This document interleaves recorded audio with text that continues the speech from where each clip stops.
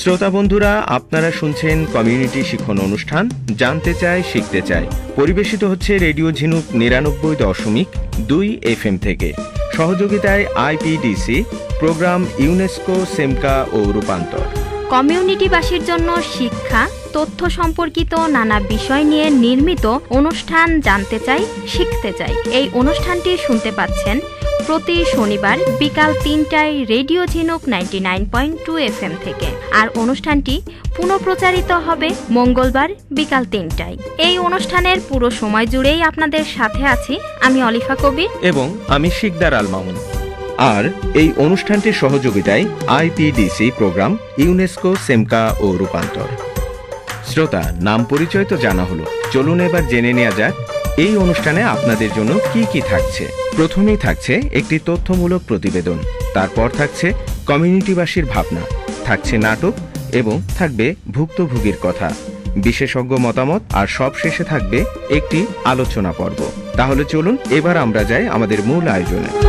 ভৌগোলিকভাবে বাংলাদেশ পৃথিবীর মধ্যে একটা বড় বদ্বীপ হিসেবে সৃষ্ট এবং অবস্থানজনিত কারণে বাংলাদেশ বিশ্বের সবচেয়ে দুর্যোগপ্রবণ এলাকা হিসেবে বিবেচিত। বিশ্ব উষ্ণায়নের প্রেক্ষিতে জলবায়ুরও পরিবর্তন দেখা দিচ্ছে। আর এই জলবায়ু পরিবর্তনের কারণে অতি খরার সৃষ্টি হচ্ছে। খরা থেকে উদ্ভূত ধূলিঝড় ও অগ্নিকাণ্ড যা জনজীবনে ব্যাপক ক্ষতি সাধন করছে। আর তাই জলবায়ু পরিবর্তন জনিত দুর্যোগ ঝুঁকি মোকাবেলায় আমাদের আজকের অনুষ্ঠানের বিষয় নির্ধারণ করা হয়েছে অগ্নিকাণ্ড।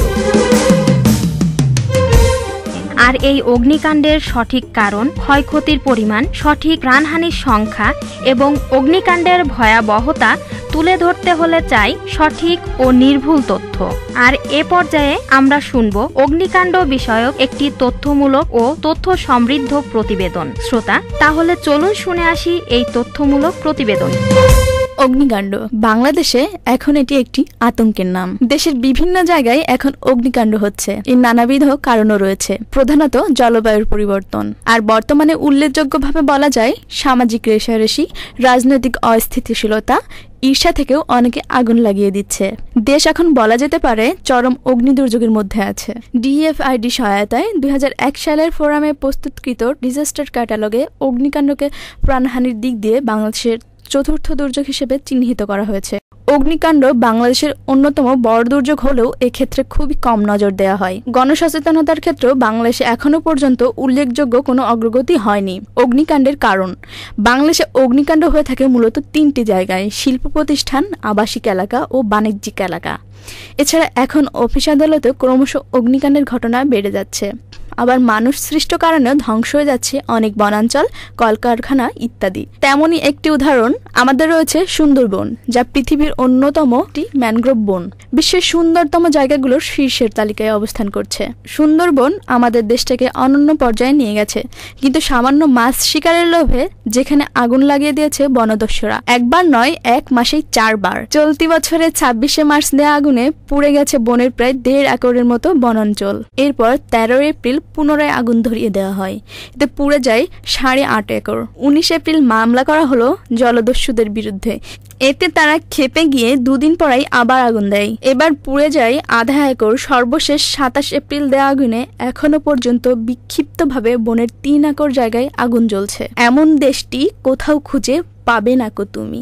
বিদ্যুৎ কেন্দ্র তেলের জাহাজ ডুবি ইত্যাদিতে নড়বড়ে এই দাঁত থাকতে দাঁতের মর্যাদা বুঝুক। অপরাধীদের উপযুক্ত শাস্তির ব্যবস্থা খুব সম্ভব, কিন্তু একটি সুন্দর সৃষ্টি কখনোই সম্ভব নয়।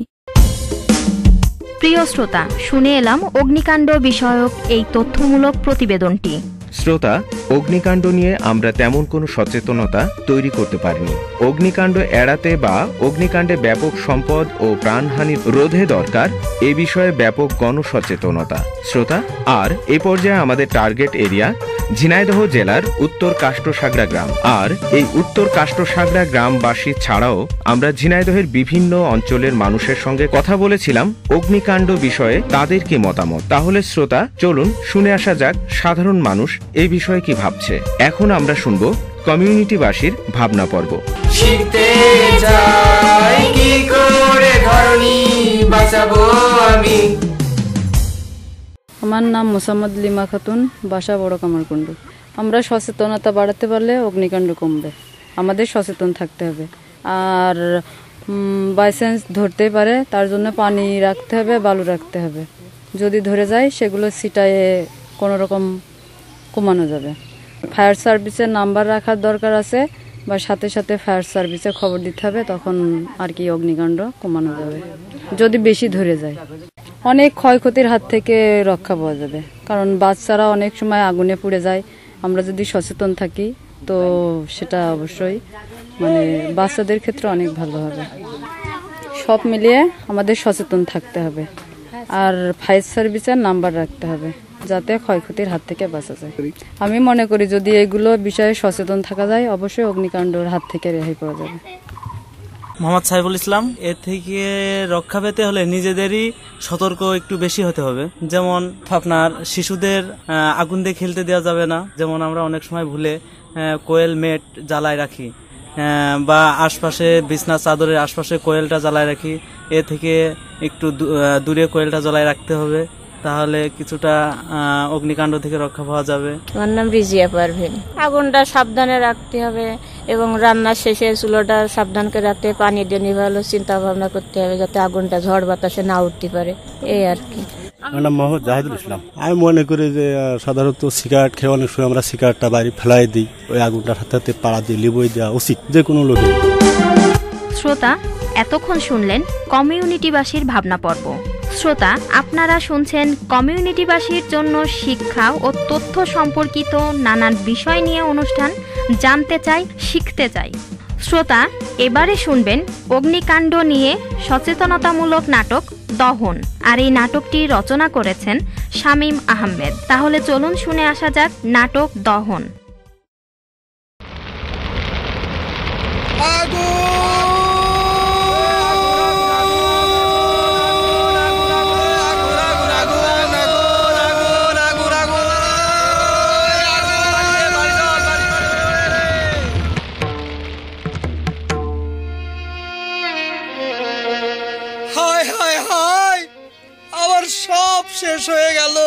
আল্লাহ, তুমি তুমি আমার কেন কেন এত গজব দিলা আল্লাহ?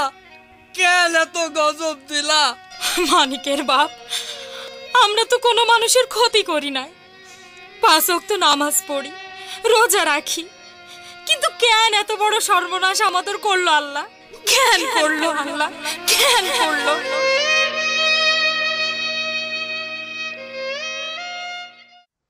রফিক ভাইয়ের এত বড় ক্ষতি চোখই দেখা যায় না। ওরে বাপ রে বাপ রে বাপ তার মাথা গোজার ঠাইটুকু নেই হ্যাঁ? আর এই জন্যই বলে ঘরে ডাকাত পড়লি কিছু না কিছু থুয়ে যায় কিন্তু আগুন ধরলি কিছু আর থাকে না রে। আর বলিস নে ওই মেয়েটার গায়ে যখন আগুন লাগে তখন এদিক ওদিক দৌড়াচ্ছিল। ওর গায়ের আগুনে সকিনার বড় মেয়েও পুড়লো। আচ্ছা মাস্টার এভাবে আর কত আগুন লাগবে আমাদের গ্রামে? এর কি কোনো প্রতিকার নেই না কি কি জানি এখানে আর আগুন লাগতে দেওয়া যায় না। বলো আমরা এর প্রতিরোধ করব। কি করা যায় সেই সম্পর্কে ফায়ার সার্ভিসের অফিসে গিয়ে চলো শুনে আসি। হ্যাঁ হ্যাঁ ঠিক আছে। তাহলে তাই করা যাক।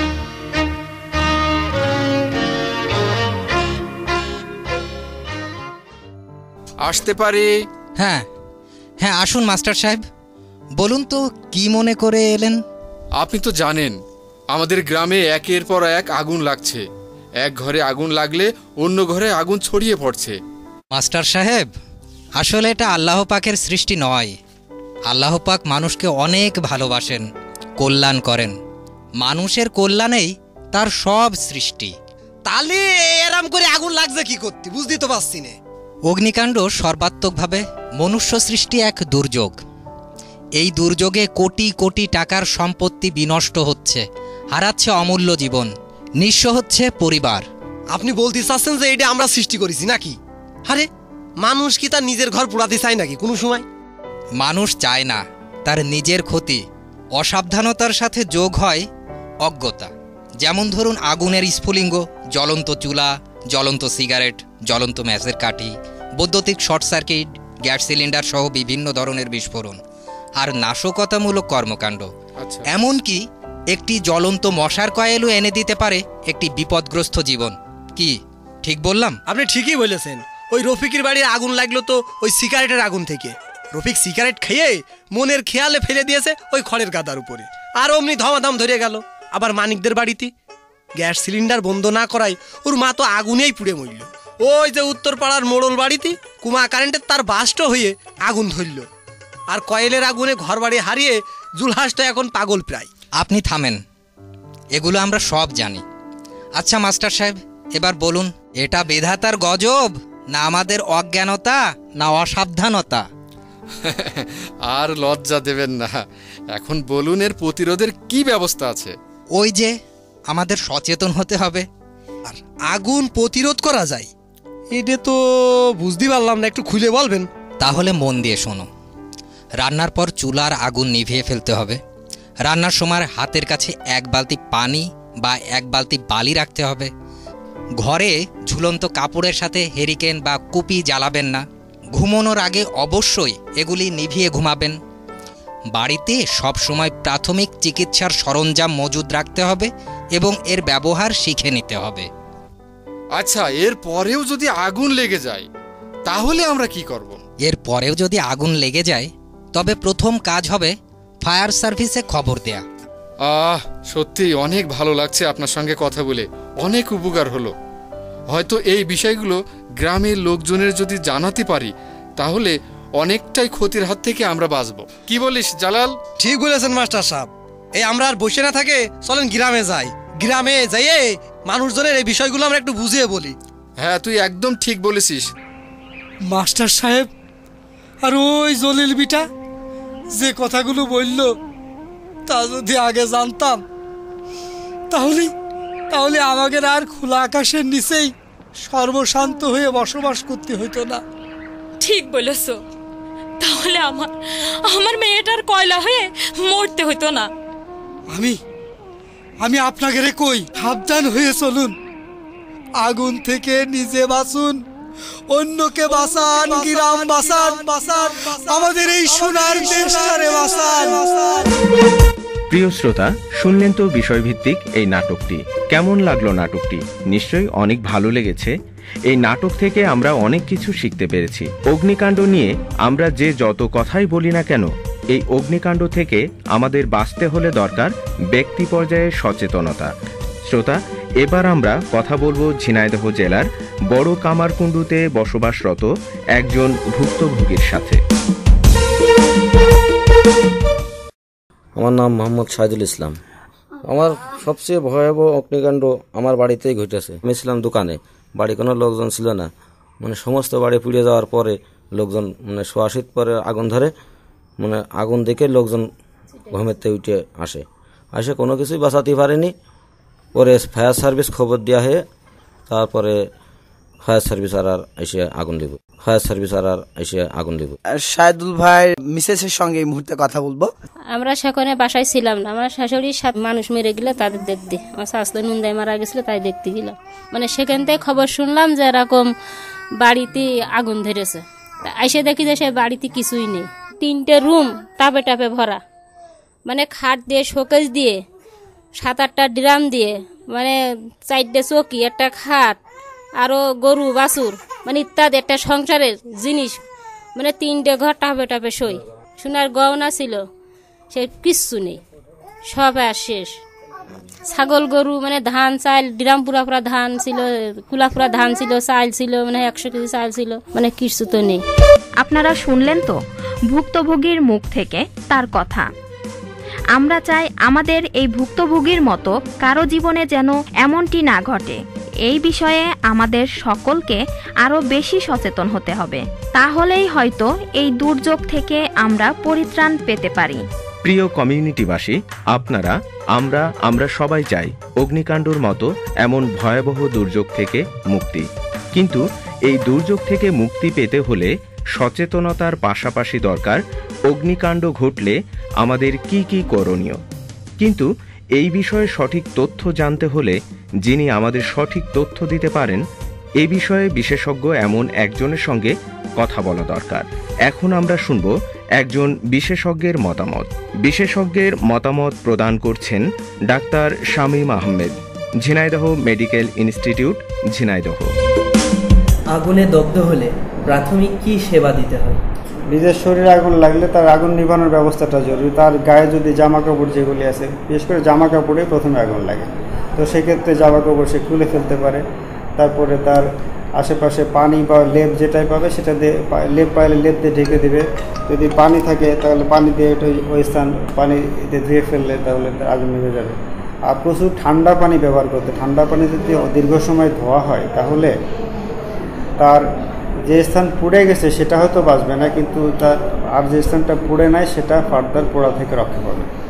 অগ্নিদগ্ধ রোগীদের ক্ষেত্রে মানে ঝুঁকির কারণ কি? কি হ্যাঁ, অগ্নিদগ্ধ রোগীদের বিশেষ করে শ্বাসনালী পুড়ে যাওয়া তারপরে মুখের বিভিন্ন অংশ পুড়ে যাওয়া এবং শরীরের বিভিন্ন অংশ যদি পুড়ে যায় তাহলে তার শরীর থেকে প্রচুর পরিমাণে পানি এবং লবণ এটা নষ্ট হবে। নষ্ট হলে তার কিডনি ফেলোর বা সেপ্টিসেমিয়া বা রক্তে বিভিন্ন রকম জীবাণু ছড়িয়ে পড়ে রোগী মারা যেতে পারে।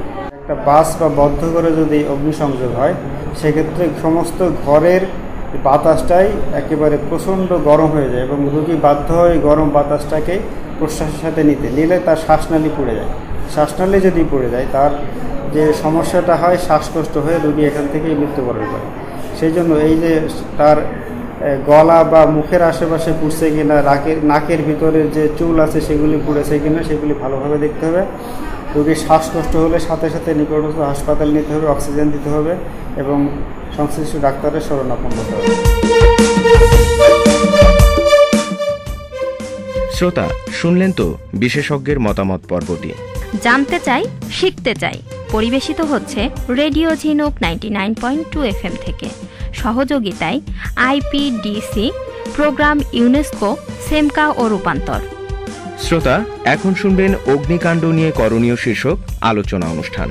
আমাদের এই আলোচনা অনুষ্ঠানে অতিথি হিসেবে উপস্থিত আছেন অতিথি হিসেবে উপস্থিত আছেন জনাব মোহাম্মদ রফিকুল ইসলাম, উপসহকারী পরিচালক। আর এই আলোচনা অনুষ্ঠানটি সঞ্চালনা করছেন পারভিন নাহার। শ্রোতা, চলুন আপনাদের নিয়ে যাই আলোচনা অনুষ্ঠানে।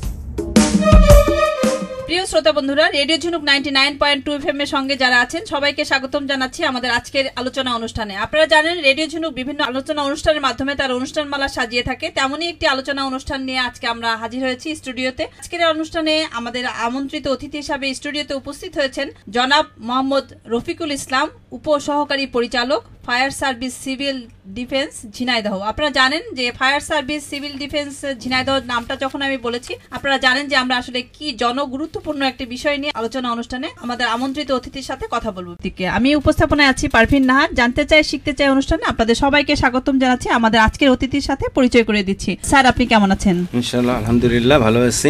আপনার কাছে প্রথম প্রশ্ন যেটা আগুন হচ্ছে যদি অসতর্কতার কারণে যদি আগুন লেগে যায় আসলে তখন মানুষ কি করবে সেটা পরের বিষয়। কি কি কারণে কি অসতর্কতার কারণে আগুন লেগে থাকে বলে আপনি মনে করেন? করেন ধন্যবাদ আপনাকে। একটি গুরুত্বপূর্ণ প্রশ্ন করছেন। আগুন লাগার মূল কারণ হতে পারে তার প্রধান কারণ হচ্ছে চুলা। বৈদ্যুতিক গোলযোগ। সিগারেটে জ্বলন্ত টুকরা, বাচ্চাদের অনেক সময় আগুন নিয়ে খেলা করতে করতে আগুন লাগিয়ে ফেলে। আতশবাজি, মাত্রাতিরিক্ত তাপ, বজ্রপাতের কারণে আগুন লাগতে পারে। অগ্নি সংযোগ করতে পারে শৃঙ্খল জনতা কর্তৃক কোনো সম্পদে। আর্সন বা ব্যক্তিগত সুবিধার জন্য অনেকে অগ্নিকাণ্ড সংগঠন করে থাকে। স্বতঃস্ফূর্ত প্রজ্বলন যেগুলো ইন্ডাস্ট্রিয়াল এলাকায় ঘটে থাকে। আমরা প্রধানত এই কারণগুলো মানে ইন্ডিকেট করে থাকি আগুন লাগার মূল কারণ হিসেবে। এগুলো অসাবধানতার ব্যবহার করলেই অগ্নিকাণ্ড সংঘটিত হয়। স্যার, আর্সনের একটা কথা বললেন কিংবা আর্সনটা এরকম যে এটা অনেক প্রতিষ্ঠান বিমা করা থাকে। দেখা যাচ্ছে যে সে আর্থিক সুবিধা লাভের জন্য অনেক সময় নিজের তরফ থেকেও বা আর্থিক সুবিধাটা গ্রহণের জন্য আগে অগ্নিকাণ্ড দিয়ে করে থাকে। নিজের সম্পদ নিজে পুড়ে বিমা ক্লেম করে থাকে আচ্ছা, এরকম আচ্ছা। হতে পারে আর কি। আমাদের দেশে তো একটা যে রাজনৈতিক কারণেও আমরা কিছুদিন আগে দেখলাম যে সেটা উচ্ছৃঙ্খল জনতা ওই যে আমরা যে কারণটা বলছি উচ্ছৃঙ্খল তারা তো অবশ্যই উশৃঙ্খল। নাহলে সম্পদ পড়াবে কেন? জি। আচ্ছা তাহলে আমরা আগুন লাগার কারণগুলো জানতে পারলাম। যদি স্যার আগুন যদি অসতর্কতার কারণে লেগেই যায় তাহলে মানুষ তাৎক্ষণিকভাবে আসলে কি করবে? আগুন লেগে গেলে এখানে আবার একটু মানে ভূমিকা দিয়ে নিতে হয়। আগুন বিভিন্ন রকম হতে পারে। সলিড আগুন যদি বিদ্যুতের সংস্পর্শতা থাকে তখন একরকম হবে। এবং এই বিদ্যুৎ ছাড়া যদি হয় তাহলে আরেক রকম হবে। আপনি হাতের কাছে এক বালতি পানি রাখেন। আপনি দ্রুত আপনার আগুনের সূচনা লগ্নে পানিটা নিক্ষেপ করেন, আগুন নির্বাপন হয়ে যাবে। আর যদি বিদ্যুতের আগুন হয়, দ্রুত আপনি মেন সুইচটা অফ করুন। তারপরে আপনি আপনার পানিটা নিক্ষেপ করুন। মেন সুইচ অফ না করে কখনোই বিদ্যুৎ থাকলে সেখানে আগুনে পানি দিবেন না। বিদ্যুৎ থাকে। তাহলে আমি বিদ্যুতের মেন সুইচটা অফ না করে আমি ওইখানে আগুন নির্বাপন করতে যাব না। এটা আমাকে মাথায় রাখতে হবে এবং দ্রুত ওই বিল্ডিং বা ভবন বা কারখানার বিদ্যুতের মেন সুইচটা অফ করতে হবে। এরপরে আপনি আগুন নির্বাপন এখন যদি মেন সুইচের এখানে আগুন লাগে স্যার তাহলে কি করবে? তাহলেও মানে মেন সুইচ হলে আপনি বিদ্যুৎ অফিসকে খবর দিলে ওরা আপনার বিল্ডিংটাকে ডিসকানেক্ট করে দেবে। তাও না পারেন জরুরি বিদ্যুতে টেলিফোন নাম্বার রাখেন। বিদ্যুৎ আপনার ওই মানে ফিডারের লাইনটাই বন্ধ করে দিবে। নাম্বারের পাশাপাশি আপনাকে এই নাম্বারগুলো সংরক্ষণ করতে হবে। এখন স্যার যে গ্যাস ধরুন হয়তো আস্তে আস্তে লিক হচ্ছে হ্যাঁ? বুঝতে পারছে না। সেক্ষেত্রে একটা ম্যাসের কাঠি ধরালে দেখা যাচ্ছে সারা ঘরে আগুন লেগে গেল। সেটার বিষয় কি হবে স্যার? এখন এখানে ঘটনা হচ্ছে যে গ্যাসের কিন্তু একটা নির্দিষ্ট ঘ্রাণ আছে। আমরা যে এলপিজিটা ব্যবহার করি এটা একটা ঘ্রাণ আছে। বদ্ধ ঘরে আপনার এলপিজিটা যখন লিক করে তখন আপনি কিন্তু অবশ্যই স্মেলটা পাবেন। আর গন্ধটা বোঝা যাবে, গ্যাসের গন্ধ। মোটামুটি তখন আপনি ওখানে কোনো স্পার্ক করবেন না মেজের কাঠি জ্বালাবেন না। এবং রান্নাঘরটা আপনি একটু ভেন্টিলেশনের ব্যবস্থা রাখবেন। আচ্ছা। আপনি কখনোই রান্নাঘরকে আবদ্ধ করে রাখবেন না যেখানে গ্যাস সিলিন্ডার থাকে হ্যাঁ, একটু লিক করতেই পারে। একটু লিক করে করে এয়ারের একটা পজিশনে গ্যাসটা ভাসতে থাকে। তো তখন আপনি যদি এখানে স্পার্ক করেন বা মেজের কাঠি মারেন ওই গ্যাসটা কিন্তু ধাপ করে জ্বলে আপনার মুখ চোখ পুড়ে দেবে। অবশ্যই আপনি রান্নাঘরে ভেন্টিলেশনের ব্যবস্থা রাখবেন। বাতাসটা যাতে বাতাসটা যাতে প্রবাহমান হ্যাঁ, থাকে। প্রবাহমান থাকে। আচ্ছা। সুপ্রিয় শ্রোতা বন্ধুরা radio Jhinuk ninety nine point two F M এখন এই মুহূর্তে যারা টিউন করলেন তাদেরকে বলছি আমরা জানতে চাই শিখতে চাই অনুষ্ঠানের আওতায় আমরা একটি বিশেষ আলোচনা অনুষ্ঠানে আছি। সেই অনুষ্ঠানে আমরা আগুন থেকে সাবধান থাকা উচিত। সেই অগ্নিকাণ্ড কীভাবে প্রতিরোধ করা যায় সেই বিষয়ে আলোচনার জন্য স্টুডিওতে আমন্ত্রণ জানিয়েছি জনাব মোহাম্মদ রফিকুল ইসলাম, উপসহকারী পরিচালক, fire service, civil defence, Jhenaidah. Sir একটা বিষয় আমরা যেটা সবসময় বলি যে আগুন লেগে যাওয়ার থেকে আগুন আসলে প্রতিরোধ করা উচিত। সেই ক্ষেত্রে আসলে মানে কি করা উচিত? মানুষের এখন যে এখন তো শুষ্ক মৌসুম চলছে। যেমন আমরা কারণের ভিতরে বলছি যে অসাবধানতাই অগ্নিকাণ্ডের মূল কারণ। তা আমি সবসময় সতর্ক থাকব। আমি যে যে জায়গায় অগ্নিকাণ্ড আগুন ব্যবহার করি সেগুলো আমি যদি একটু সতর্কতার সাথে করি আমি অবশ্যই অগ্নিকাণ্ড থেকে নিরাপদ থাকতে পারব। যেমন আমি কিছু কথা বলি রান্নার শেষে চুলার আগুন সম্পূর্ণ নিভে ফেলুন। জ্বলন্ত চুলার উপর কাপড় বা কাঠ শুকাতে দেবেন না। বৈদ্যুতিক তার ত্রুটিমুক্ত কিনা মাঝে মাঝে পরীক্ষা করেন। বৈদ্যুতিক তার ত্রুটিমুক্ত কিনা পরীক্ষা করে নির্দিষ্ট একটা মানে অথরাইজড পার্সন দিয়ে করাতে হবে এটা। নিজে নিজে পরীক্ষা করলে হবে না, এটা তো হ্যাঁ। আপনি- আপনি হুম, বুঝবেন না। হ্যাঁ। যেখানে সেখানে জ্বলন্ত সিগারেটের অবশিষ্টাংশ না ফেলে পায়ের নিচে ফেলে চাপা দিয়ে নিভিয়ে ফেলে। আপনি ভালো থাকবেন আপনার সম্পদ সুরক্ষিত থাকবে।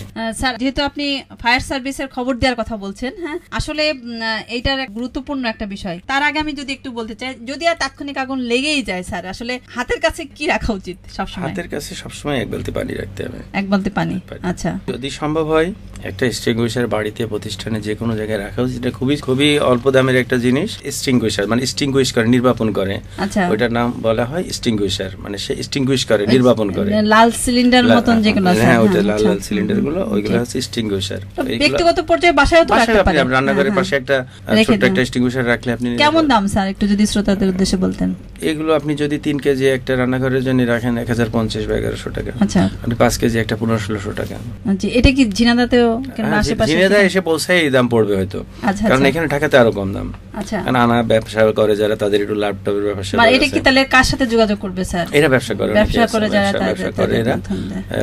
তাদের সাথে স্যার নামটা যদি আরেকটু বলতেন। ও এক্সটিংগুইশার ওই যে যেটা নির্বাপন যন্ত্র অগ্নি নির্বাপন যন্ত্র আচ্ছা, বাংলাদেশ আচ্ছা, বাংলা যেটা বলে অগ্নি নির্বাপন যন্ত্র। ওইটা ওইটা রাখা স্যার। আর এক বালতি পানির কথা বললেন। অবশ্যই আপনি আমি যেখানে অগ্নিকাণ্ডের সম্ভাবনা আছে বিদ্যুৎ নাই।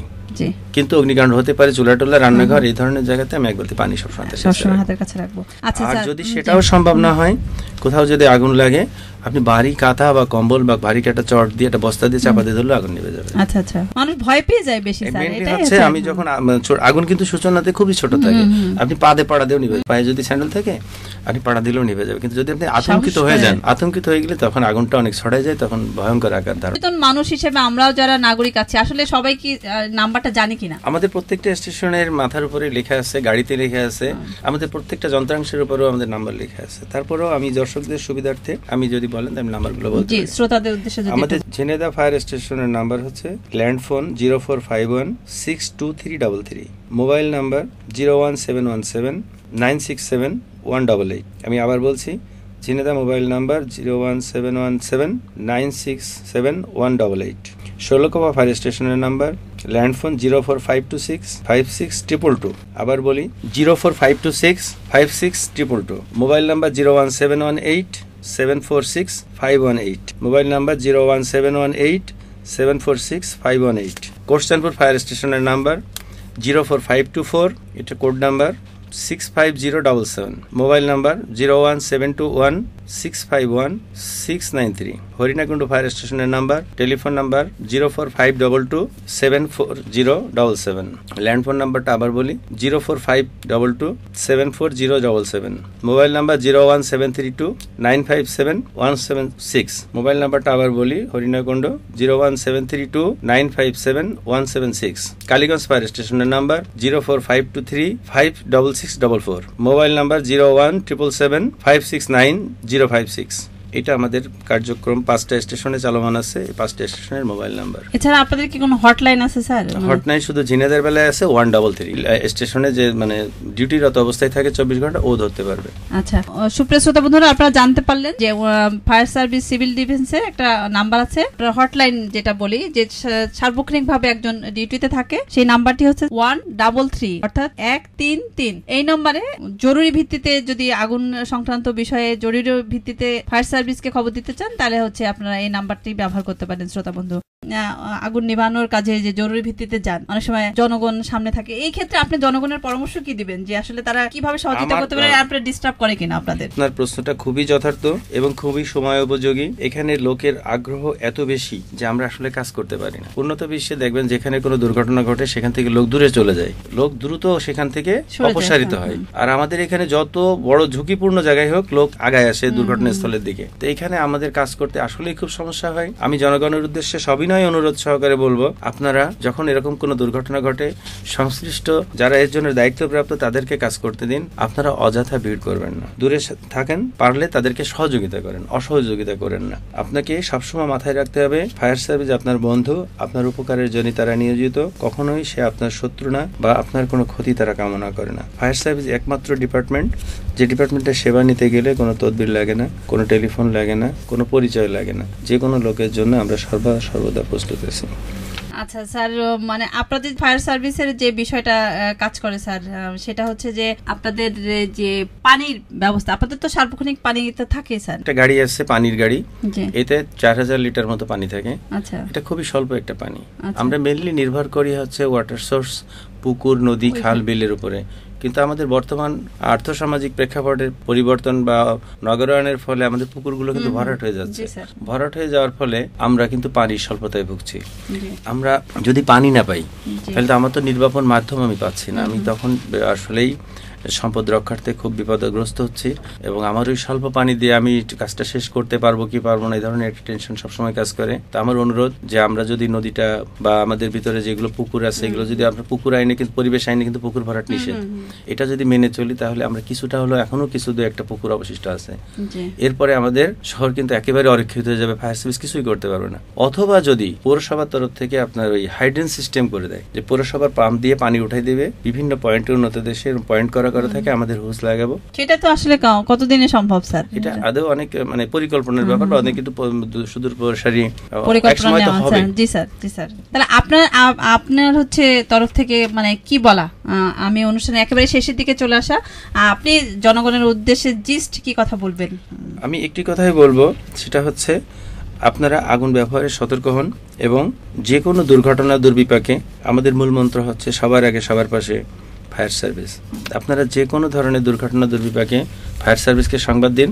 ফায়ার সার্ভিস সদা সর্বদা আপনাদের সেবায় নিয়োজিত। ঠিক আছে যদি অসতর্কভাবে আগুন লেগে যায় তাহলে আমাদের যে ধ্বংসলীলা যে কীভাবে হতে পারে কয়েক ঘন্টায় কয়েক মিনিটে সেটা আপনারা অবশ্যই জানেন। সেই বিষয় নিয়ে আমরা আজকে কথা বল যদি কখনো কোনো সমস্যায় পড়েন নিশ্চয়ই ওনারা সবসময় আপনাদের পাশে আছেন ওনারা আপনাদের পাশে থাকবেন। স্যার আপনাকে অসংখ্য ধন্যবাদ আপনার মূল্যবান সময় আমাদের স্টুডিওতে দেওয়ার জন্য। আপনাকেও ধন্যবাদ। আমরা চাই না যে আগুনের ধ্বংসলীলায় কেউ ক্ষতি হোক। যদি আগুন লেগেই যায় তাহলে আমরা সবাই সেটা নির্ভানোর কাজে সহযোগিতা করব এবং যারা ফায়ার সার্ভিস সিভিল ডিফেন্সের লোক আছে তাদেরকে সহযোগিতা করব। সুপ্রিয় শ্রোতা বন্ধুরা আমাদের পরবর্তী আয়োজনে আপনাদেরকে ফিরিয়ে নিয়ে যাচ্ছি। ভালো থাকবেন সুস্থ থাকবেন। খোদা হাফেজ। তা শুনলেন আলোচনা অনুষ্ঠান। আলোচনা অনুষ্ঠানের আলোচনা থেকে আমরা যা বুঝতে পারলাম আগুন নিয়ন্ত্রণের চেষ্টা করলে বড় ধরনের কোনো ক্ষতি সাধনের হাত থেকে বাঁচতে পারি। দেখতে দেখতে অনুষ্ঠানের সময় শেষ হয়ে এলো। এবার বিদায় নেওয়ার পালা। এই অনুষ্ঠান সম্পর্কে আপনার মূল্যবান মতামত পাঠাতে পারেন। আপনার মতামতটি পাঠাতে হলে রাইট মেসেজ অপশনে গিয়ে আর যে স্পেস আপনার নাম স্পেস লোকেশন গুরুত্বপূর্ণ মতামত পাঠিয়ে দিন টু সেভেন সেভেন সেভেন এই নাম্বারটিতে, অর্থাৎ দুই সাত সাত সাত এই নাম্বারটিতে। চিঠি লিখেও আপনার মতামত জানাতে পারেন। চিঠি লেখার ঠিকানা প্রযোজক তে চাই শিখতে চাই প্রযত্নে radio Jhinuk ninety nine point two F M এগারো রোড পবহাটি ঝিনাইদহ। আবার আপনি ফোন করতে চাইলে ফোন করতে পারবেন zero four five one six double three four এই নাম্বারটিতে শেষ পর্যায়ে জানিয়ে দিই আপনি সশরীরে এসেও আপনার মূল্যবান মতামতটি জানাতে পারেন। তো রেডিও ঝিনুকের নিজ কার্যালয়ে এসে আমাদের সাথে যোগাযোগ করতে পারেন। শ্রোতা বন্ধুরা আপনারা এতক্ষণ শুনলেন কমিউনিটি শিখন অনুষ্ঠান জানতে চায় শিখতে চায়। পরিবেশিত হল রেডিও ঝিনুক নিরানব্বই দশমিক দুই এফ থেকে। আর অনুষ্ঠানটি সহযোগিতায় ছিল আইপিডিসি প্রোগ্রাম ইউনেস্কো সেমকা ও রূপান্তর। অগ্নিকাণ্ড সম্পর্কে সচেতন থাকবেন। শ্রোতা সামনের পর্বে আপনাদের সঙ্গে কথা হবে নদী বিষয়। সেই পর্যন্ত সবাই ভালো থাকবেন সুস্থ থাকবেন। এই অনুষ্ঠান থেকে আমরা দুজন বিদায় নিচ্ছি। আমি শিকদার আল মামুন। এবং আমি অলিফা কবির।